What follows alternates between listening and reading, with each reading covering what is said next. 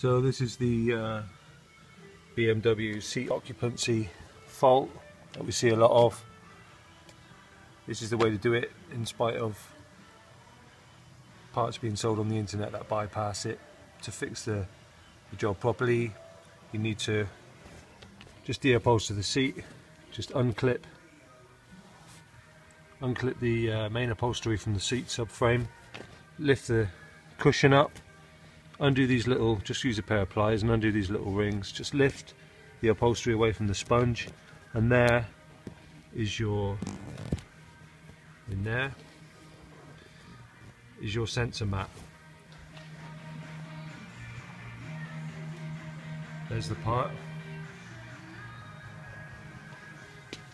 They're only 104 quid. Do the job properly, lift that out, slide the wire in slide the wiring down the back of the seat, plug it back in, delete your fault codes, job done.